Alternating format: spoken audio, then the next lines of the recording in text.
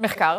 כן, מחקר שקובע שהחולים החדשים, שאנחנו רואים בעצם עכשיו, זה קצת מתחבר למה שדיברנו עליו קודם, אבל עם ביסוסים אה, בפועל, יש בעצם הוכחה שהם אינם מדבקים. עכשיו, המחקר הזה הוא של מכון ויצמן, ושמענו גם את ארגון הבריאות העולמי מדבר בכיוונים האלה, ואז חוזר, חוזר בו. בו. כן.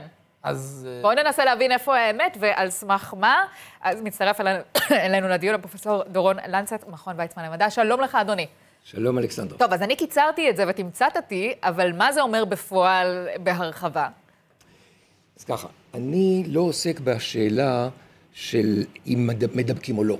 את זה אני מקבל מבחוץ, ונהנה לשמוע שחולים, שאנשים שיש בהם הווירוס, אך אין להם סימפטומים, ללא תסמינים, אינם מדביקים.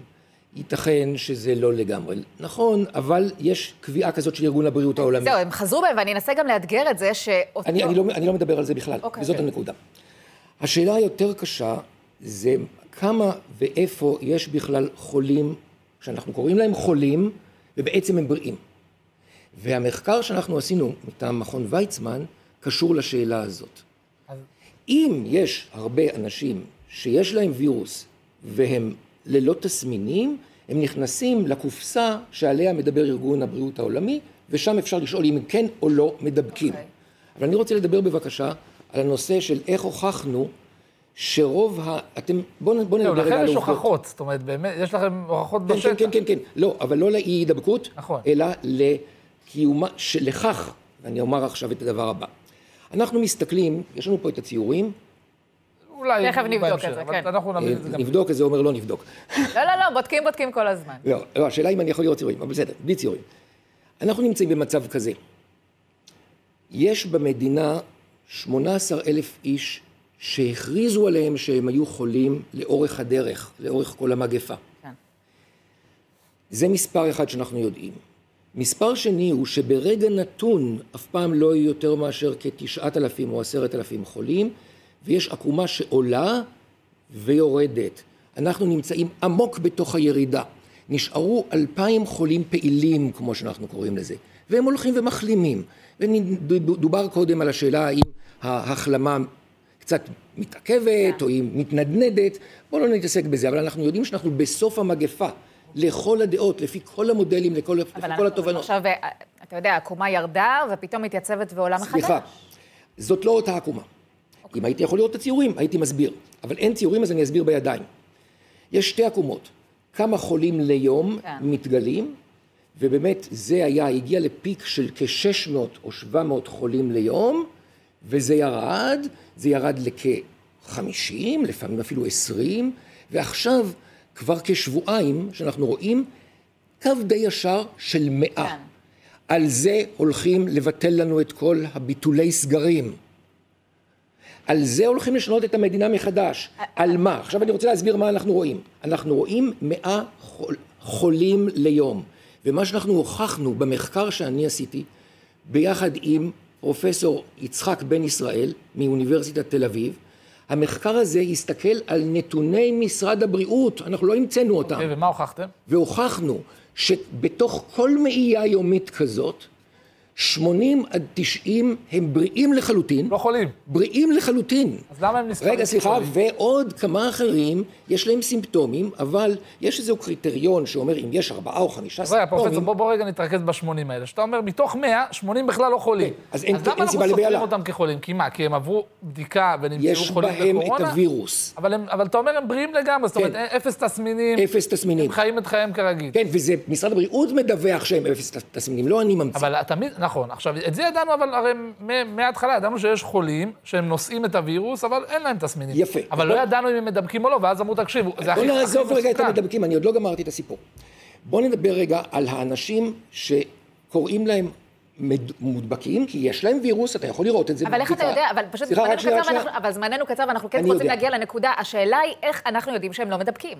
זה לא מעניין אותי הרגע, אני מבקש לגמור את הסיפור של זה, ששמונים הם בריאים, ומאיפה הם באים? הם באים מהסיפור של מה שאני קראתי הקרחון. למעלה יש את הקרחון של ה-18-20 אלף אנשים שהיה להם גם סימפטומים וגם וירוס. למטה יש בערך פי עשר יותר מתחת למים. הם נמצאים במדינה הזאת כל הזמן. הם נמצאים פה, ויש כ-200 אלף אנשים שהם בעלי וירוס, אך ללא סימפטומים. אתה מציע רק- לספור אותם? במה ש... אני- המשפט במחץ. כן. מה שאנחנו עושים בבדיקה של 4,000, 5,000 עד 12,000 כל יום, אנחנו חופרים לתוך החלק של הקרחון שנמצא הזה. מתחת למים. הבנתי. ומה שיקרה, זה שאם אנחנו נמשיך עוד 20 יום לחפור את אותה חפירה, נקבל כל יום 100 חולים, או 150, אבל הם לא חולים. אוקיי, עכשיו אני רוצה לשאול אין- אותך... יש כאן עיוות מציאות. ברור, ברור. משרד הבריאות קורא חולים לאנשים שהם בריאים. אתה אומר משרד הבריאות מעוות את המציאות. לגמרי. עכשיו אני רוצה לשאול אותך שאלה, כי הנתון הזה, אוקיי, בהנחה ואנחנו מקבלים אותו, אני שואל, מה אמורים עכשיו לעשות עם האנשים האלה? האם כלום. אנחנו... הם אמורים להתנהל. כרגיל, או שהם אמורים להיות בבידוד לצורך העניין? אנחנו צריכים לדווח לראש הממשלה ולשר הבריאות את הדבר הבא.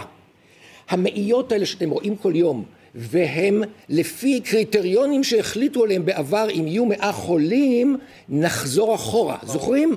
כן. אז עכשיו, אם אנחנו רואים שמהם 80 הם בעצם אתה אומר, בריאים... צריך לספור רק 20. לא, בדיוק. ואז רגע, לא הגענו לקריטריון. אבל- אבל אפשר, לא אבל סליחה, אפשר לפתוח את הרכבות, אפשר לפתוח את אבל התיאטראות. המספרים זה לא מה שחשוב. אותו, מי שהדביק, עד כמה שאנחנו יודעים בגימנסיה, היה נטול סימפטומים, בן אדם בריא, והוא זה שהדביק שם לא. 100 ומשהו אנשים. לא בהכרח, אנחנו לא אנחנו יודעים את שומעים. אגב שהרבה מאוד מהסופר ספרדרים הם אסימפטומטיים. חברים, אני. מתנצל, אלה לא עובדות בשטח, שחלק גדול מאוד, כשמר- אלה השערות, שארגון אני הבריאות העולמי אומר. שלשיטתו, גם אם יש הסתייגויות, לשיטתו, בעיקרון, האנשים עם וירוס ללא סימפטומים אינם מדביקים. רק לסיום, אני רוצה לשאול אותך, מה יושב פה רופא שערך פה אה, לא, לא מעט בדיקות במד"א בחודשים האחרונים, אני רוצה לשאול אותך, מה אמורים לעשות עם ה-80 האלה? אוקיי, יש 100, מתוכם 20, יש להם סימפטומים, אנחנו יודעים שצריך לבודד אותם.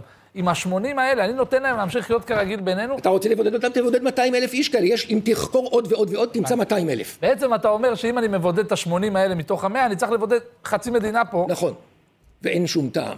ברור. ועד היום הם היו. ואתה לא אומר שהם גם ככה. מסתובבים אתם בינינו. יודעים למה אנחנו מגלים אותם?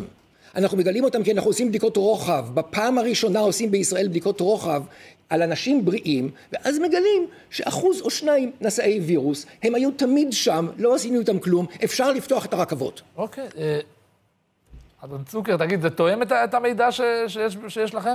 תראה, אני חושב שאחד מהדברים שאולי לא נותנים עליהם את הדעת מספיק, זה כל, באמת, ארגון הבריאות העולמי אומר מה שהוא אומר, אבל כל עניין מקדם ההדבקה. אה, ובאמת, אנחנו עדיין לא מספיק, אנחנו יודעים בעצמו שארגון הבריאות העולמי בעצמו משנה את דעתו, כן, לימין ולשמאל. בכל, תלוי אם יש אה, שמש או ירח בחוץ.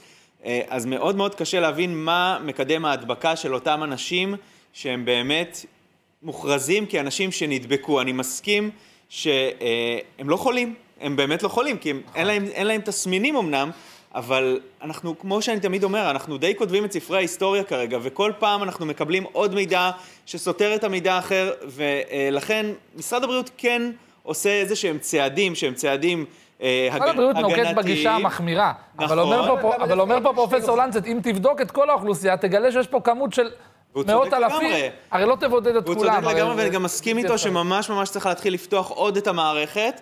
אבל ביחד עם זה, אני אומר שאנחנו לא יודעים מספיק. תגיד, את הנתון הזה העברת ל- ל- לשר הבריאות החדש? אנחנו היום נעביר אותו אמרת לשר לו, הבריאות החדש, אדוני, ונצליח אפשר- לה- אפשר לפתוח את הרכבות אתמול. נצליח להגיע אליו, והוא אגב בעד פתיחות. רק שכופים עליו מבחוץ הר כגיגית בגלל המאה האלה. רק אגב, בעניין מקדם הדבקה. מקדם הדבקה הוא לא פונקציה של המדביק, אלא הוא פונקציה של המדביק והמודבק.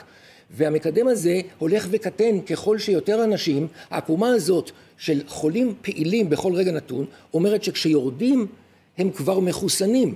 כלומר, יש הרבה מאוד אנשים מחוסנים בארץ, כולל ה-200 אלף האלה שהם כנראה מחוסנים. לא, למרות שבדיקות סרולוגיות. מצביעות על אה, נתונים מאוד נמוכים אה, בישראל בגלל הסגר, צריך להגיד. טוב, פרופסור מאוד דורון מעניין, ותודה שבאת. אני באתי להציל את המדינה. ואני בטוח אני מקווה ש- שאתם תעזרו לי. אני בטוח שעוד אנשים אה, שמקבלים פה החלטות גם ירצו לשמוע את ותודה רועי, המחקר הזה. אתה אמרת דברים מאוד נכוחים, ותודה.